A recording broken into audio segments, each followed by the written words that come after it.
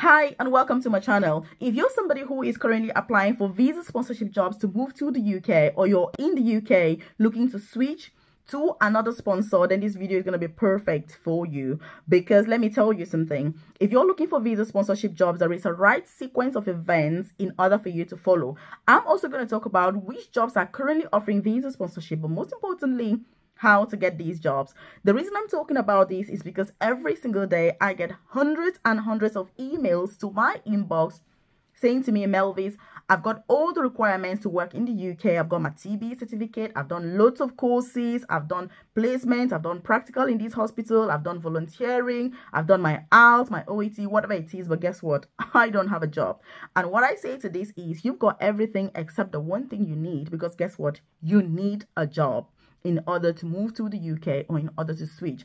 And so that's why I'm recording this video just to share with you what you should do and in what order.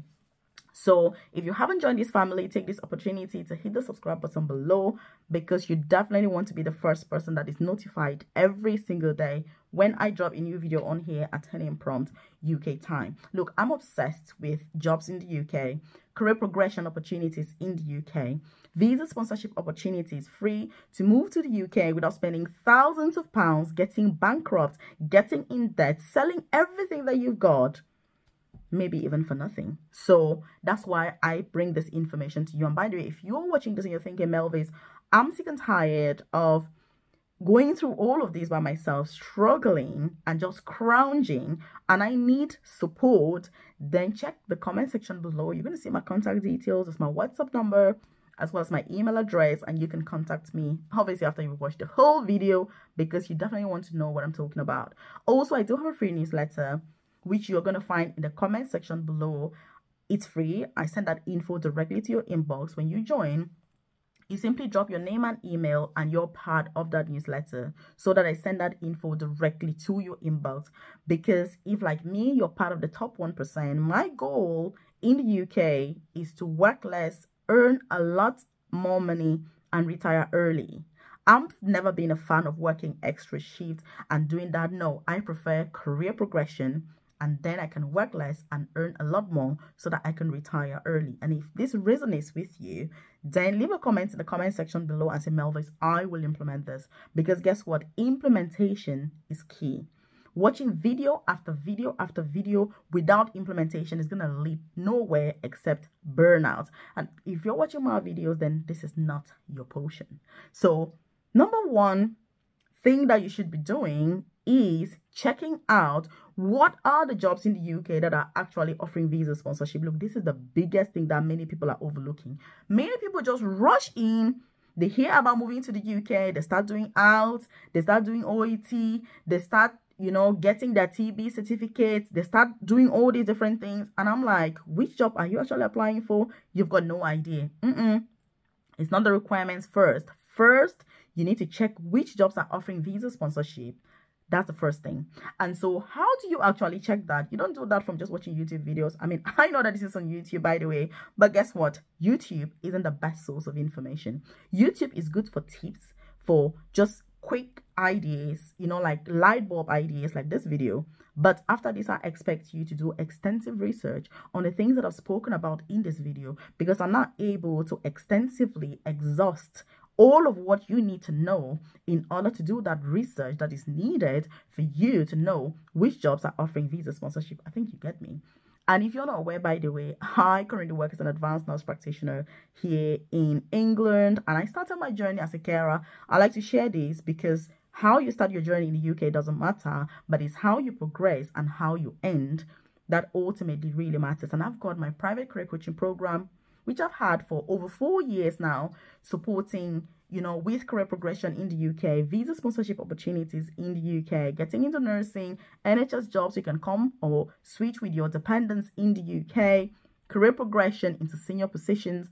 If you're keen on knowing more information about this and you are part of the top 1%, obviously, check the description box below or the about section of this channel and you're going to see more information about that amazing coaching program. Like I say, it's not the easy option. It is requiring a lot of work. It requires you to participate, to show up, you know, to apply for jobs to understand what the job is about, the interview and all of that, but you're going to get the support that is needed and you're going to be able to have more clarity about this whole process. That's the point of the program.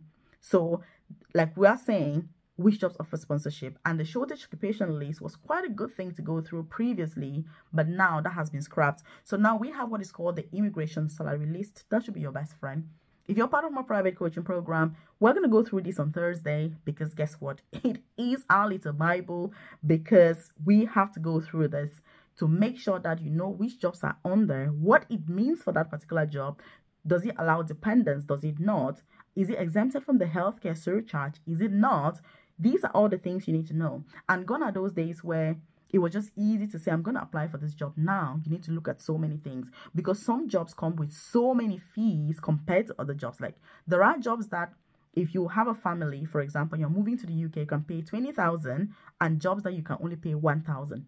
So you need to be very careful which one you're going for. And if you're watching this, leave a comment in the comment section below. Which job are you currently considering? And I'm happy to share more information as to the cost associated with that particular job.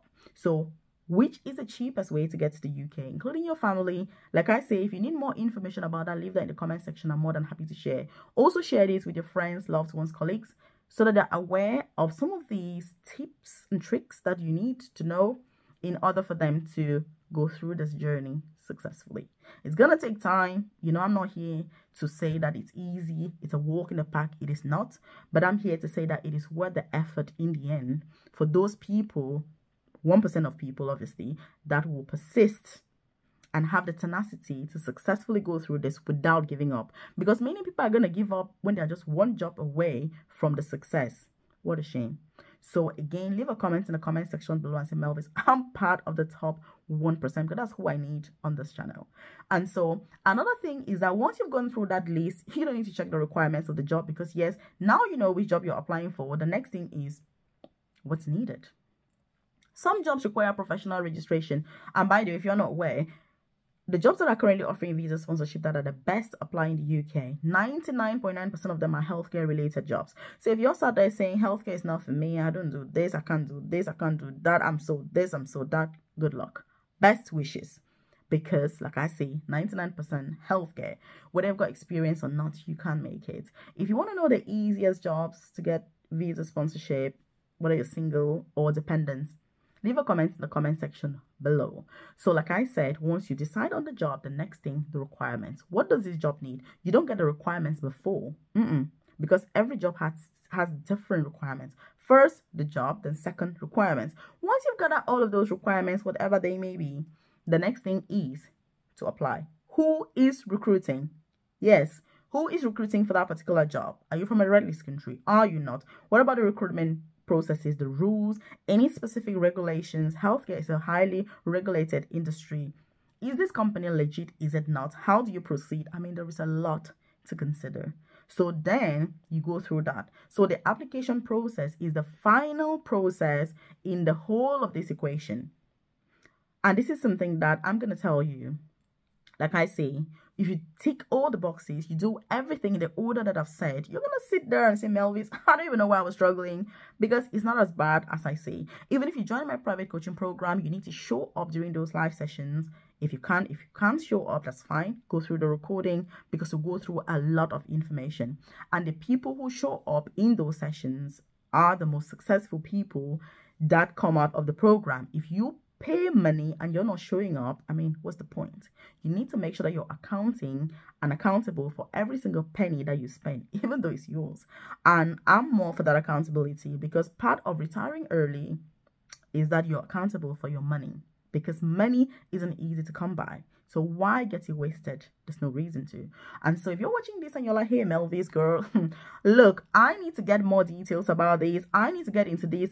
Get digging because I've got videos here about every single aspect when it comes to the UK. Like I say, I love anything about jobs, career progression, applying for jobs, visa sponsorship, what's needed, what do you do, interviews. I love that. And that's what has helped me to be able to progress so fast in my UK career from a carer to an advanced nurse practitioner, which is the most senior clinical nursing job in a very short time.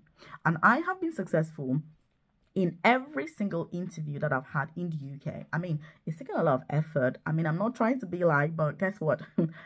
it's worth it because this country appreciates people that are putting in the effort, people that are enthusiastic, and people that are not just like, mm, I'm gonna see what I can do.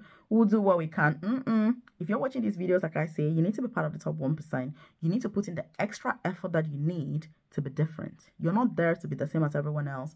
No, you're there to do more. You have to do more. You have to prove that you are deserving and you're worth it. That's how life is. The people who get the best is because they have gone the extra mile. So what do you think about this? If you need to contact me, like I said, check the comment section below. You're going to see my contact details. Feel free to get in contact with me. And then I'll be like, okay, this is what you need to do. Check this out here.